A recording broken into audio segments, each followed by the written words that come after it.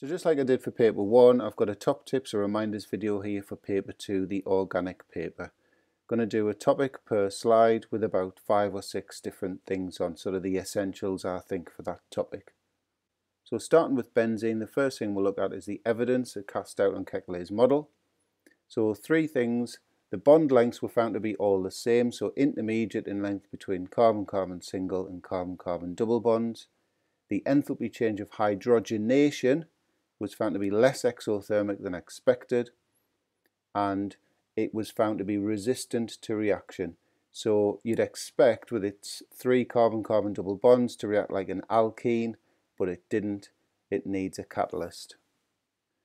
Next it undergoes electrophilic substitution and not electrophilic, which is a very common spelling mistake that I see. And when you're doing the mechanism for electrophilic substitution, you need to take your pair of electrons from the delocalized ring of pi electrons. So the DROPE acronym is very handy there. And that's come from a friend of mine, Dr. Peter Hall from Newcastle University. Cheers, Peter, for that. So you take the pair of electrons from the delocalized ring of pi electrons and not the hexagon. And what I mean by that is it's got to come from the circle and not the bond. Once that's happened, your partial electron cloud, you need to cover five carbons and you leave it open where the substitution's taken place. I'll show you a picture of that in a second. And once you've done that, the loss of the H plus from that intermediate um, is by a pair of electrons from the CH bond and it goes back into the ring. So there's that picture I'm referring to. So there's your five carbons covered, the positive charge in the middle, don't forget that, and the pair of electrons comes from this bond, not from that hydrogen, which I see quite a lot. So phenol next.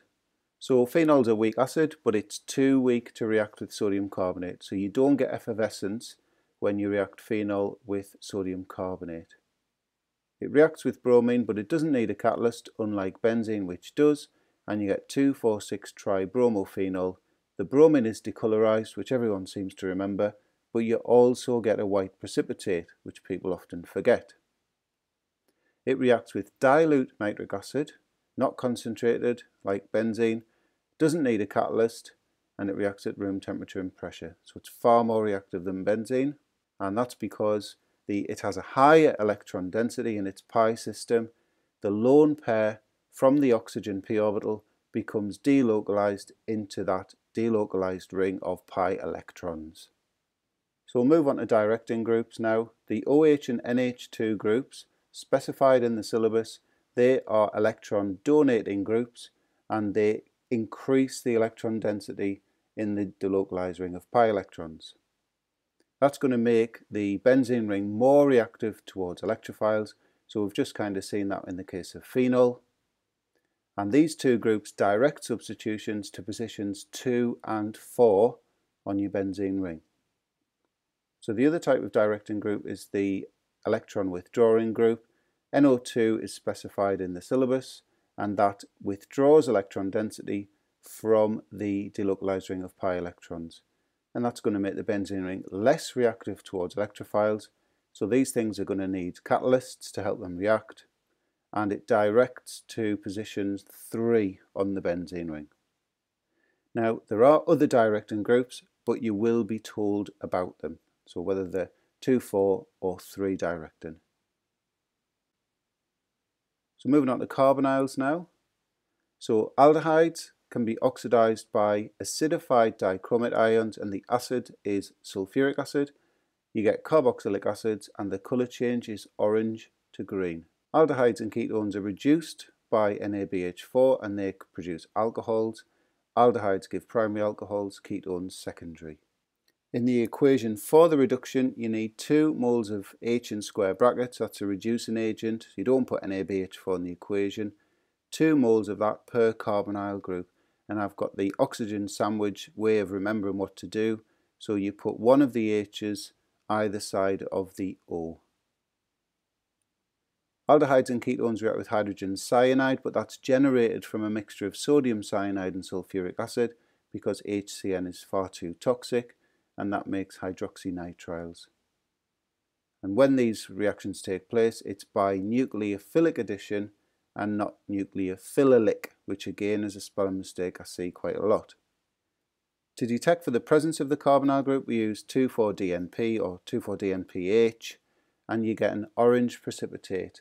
And to test which aldehyde or ketone was present initially, you measure the melting point, not the boiling point, of the purified precipitate and compare that to data values. And finally, Tollens reagent is used to distinguish between aldehydes and ketones. Remember, aldehydes give a silver mirror, ketones don't. So moving on to carboxylic acids now. The short carbon chain carboxylic acids, so methanoic, ethanoic and so on, they are very soluble in water because they can hydrogen bond very, very easily. Obviously, as the carbon chain gets longer, the induced dipole forces in the car between the carbon chains start to get quite strong and uh, makes them less soluble. They react with metals, just like any acid, they react with metals, metal oxides, metal hydroxides and carbonates. And these reactions generate carboxylate salt, so I've put like the general formula of a carboxylate salt in there. Just beware the group 2 metals. So the carboxylate ion has a 1 minus charge, so if you've got say magnesium in your salt, you'd need two of these in a bracket and then it would be Mg2 plus outside. So moving on to esters now. They are formed by esterification. There's different ways to do this. So the first method, the classic way to make an ester, take a carboxylic acid and alcohol and heat with a concentrated sulfuric acid catalyst. And that's going to give you an ester and water.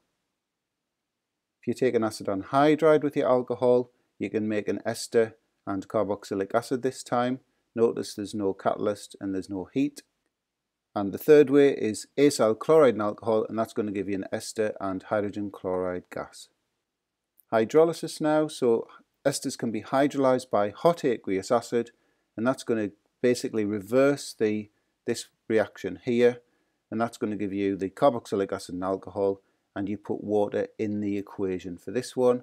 And it can also be hydrolyzed by hot aqueous alkali, and that's going to give you a carboxylate salt this time, and alcohol, and for example if you use sodium hydroxide as your alkali it goes into the equation. So moving on to acyl chlorides now. We make acyl chlorides by reacting carboxylic acids with SOCl2 thionyl chloride. They're really useful in organic synthesis because you can make lots of different things from them. So first of all you can make an ester, we've already seen this one. So acyl chloride with alcohol makes an ester. And that's a really useful method because if you take phenol and a carboxylic acid to try and make a phenyl ester, it's quite difficult because they don't really react. So it's a good way to make phenyl esters. We can make carboxylic acids from acyl chlorides, we just react them with water. We can turn them into primary amides. I'm gonna, I've got a separate slide on amides. So that's by reaction with ammonia. We can make secondary amides by reacting the acyl chloride with a primary amine and we can also make a tertiary amide by reacting an acyl chloride with a secondary amine. So moving on to amines now. Amines can act as bases, they can accept H plus ions and that's by using the lone pair on the nitrogen to form a coordinate or dative covalent bond and we get ammonium salts from that. Primary aliphatic amines are made by reacting a haloalkane with an excess of ammonia and that needs to be an ethanol we use excess ammonia to avoid any further substitution to get secondary and tertiary amines. Aromatic amines are made by reducing nitroarene, so something like nitrobenzene, using tin and concentrated HCl, not NaBH4, which is a different reducing agent which we've already seen for reducing carbonyls. Amines can also be made by reducing nitriles, using hydrogen and a nickel catalyst and the CN group in the nitrile is turned into a CH2NH2 group for the amine so we need 2 moles of hydrogen per CN group reduced. So moving on to amides now, so the amide group looks like that. We can get primary amides which we saw a couple of slides ago. So the nitrogen is bonded to one carbon directly. Secondary amide there's one carbon but there's another one here in this R group so secondary amide and tertiary the nitrogen's bonded to one two three carbons so we've already seen this primary amides are made from an acyl chloride and ammonia secondary acyl chloride with primary amine and tertiary acyl chloride plus secondary amine. Moving on to amino acids now. So we deal with alpha amino acids, and that's where the NH2 group and the COOH group are bonded to the same carbon atom. They have a general formula RCH NH2 COOH, and they all show optical isomerism, which I'm going to cover in a moment, except glycine. That's the simplest alpha amino acid, where the R group is just a hydrogen. The COH group can react with alkalis and give us salts, so basically the H plus ion of this group is replaced with the metal ion from the alkali. The COH group can also react with alcohols in the presence of concentrated sulfuric acid and some heat and give us esters. And the NH2 group can react with acids, they're going to accept an H plus ion and form a salt, but this time it's going to be an ammonium salt. So that NH2 group would turn into an NH3 plus group. And finally on this, beware the carboxylic acid groups or the NH2 groups in the R group because these two can react with those things just above there. Often students just consider the NH2 group and the COH group bonded to the, the central carbon there and forget about the R group. So we'll move on to optical isomerism. So that's a form of stereoisomerism. So the definition for that, the same structural formula, but different spatial arrangement of atoms or groups. The isomers are non-superimposable mirror images of each other and they can sometimes be referred to as enantiomers. And optical isomerism is possible if it's got a chiral center. So that's a carbon atom with four different atoms or groups attached. For each chiral center you get a pair of optical isomers. So one chiral center you get two isomers, um, two you get four and so on. So the total number of isomers you can calculate by raising 2 to the power of the number of chiral centers. So I'm just going to finish with uh, the sequence of steps you need to go through to construct those 3D diagrams for um, optical isomers. So you identify the chiral center first, you draw what I call an empty tetrahedral structure, you add your four atoms or groups in any order you want, and then you mirror what you've drawn on the other side. So we'll use this as an example. This is alanine, the uh, amino acid with the CH3 group as its R group. So identify the chiral center, which is that carbon there. So there's my empty tetrahedral structure. So I've chosen to put the CH3 group at the top and you can see where I've put the others and then I'm just going to mirror that on the other side so there it is there and just make sure you get your dashed lines in and your wedge to show the 3D arrangement. So we'll move on to addition polymers now. So top tip is to base your monomer diagram on an ethene molecule. So if you're faced with something like that and you've got to sort of construct the repeat unit diagram, then if you sort of base it on that ethene structure, so these two carbons here are obviously those two there. So we've got a hydrogen here, we've got this aromatic group here, we've got this carboxylic acid group here, and another hydrogen there. And then once it's in that format, you can quite easily turn it into the repeat unit. So we'll have a look at that now. Top tip for repeat units is don't forget about the end bonds. Make sure they poke through the brackets. So we're going to turn that ethene-like structure into something like that. So you notice there, those bonds there must poke through the bracket.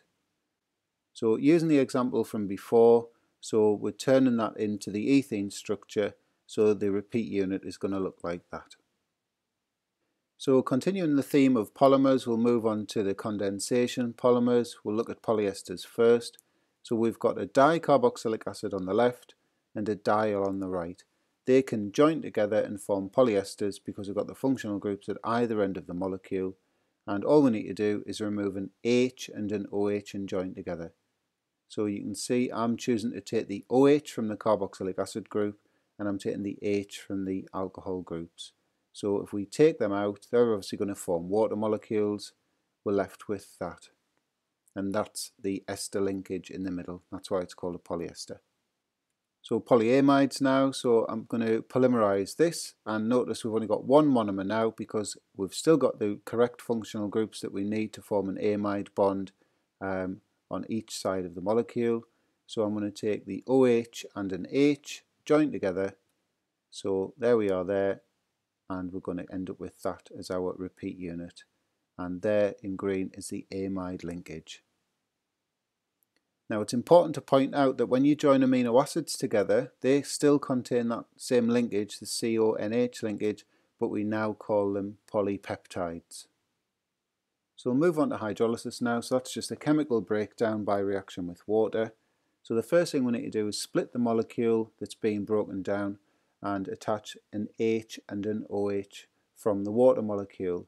And I'll show you a diagram of what I mean by that in a second. The second thing, and this is often where students lose a mark, you need to look at where the H plus from the acid could also attach. So if you've got any nitrogen from amino groups, then that can accept a proton from the acid. So let's say, for example, we're going to break this by acid hydrolysis. So the bond that gets broken is this ester bond here. So we break that and we put the OH on this side where the C double bond O is and we put the H on this side. And then ask ourselves, can H plus go anywhere on there? And the answer is no. So we'll look at this one now. So this is the bond that's going to break. And we're going to put the OH here and the H there. But then ask ourselves the question, can an H plus go anywhere else? And yet it can go on this nitrogen. So we're actually going to generate that. Very similar for alkaline hydrolysis. So again, split the molecule, attach the H and the OH from the water, and then look at where H plus could be lost now. Remember to react them with um, an alkali which can accept an H plus. So things like carboxyl groups can go from COOH to COO minus. And if it specifies the alkali, so say sodium hydroxide, you would have COO minus Na plus. So we'll use the same examples before split the bond, the ester bond, OH is going to go here, H is going to go there, and then can anything, any H plus be lost? Well yes, the COH can turn into COO minus, so we're going to end up with that. And this one now, so we're breaking this bond, the OH is going to go here, and the H is going to go there, and we're going to lose the H plus from the COOH group, and we're going to get that. So we'll quickly run through the tests for organic functional groups now. So alkenes, we react them with bromine and the Br2 is decolorized. Haloalkanes, you react them with aqueous silver nitrate in ethanol. So chloroalkanes will give you a white precipitate of silver chloride. Bromo will give you a cream precipitate of silver bromide. And iodoalkanes will give you a yellow precipitate of silver iodide. Phenols, so how do you check you've got a phenol?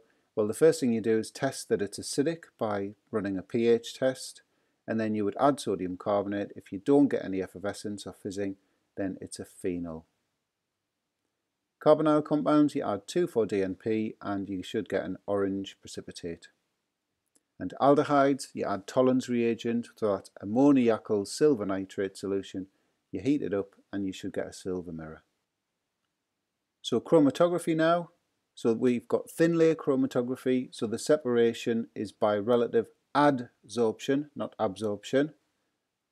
Gas chromatography, you can have separation by relative adsorption if the stationary phase is a solid, but if it's a liquid, it would be by relative solubility. Thin layer chromatography gives you RF values, so that's the distance travelled by the spot divided by the distance travelled by the solvent.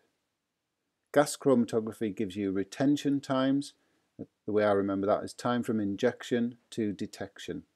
And then how do you work out what you've actually got in your sample? You compare the RF values or the retention times to known data values.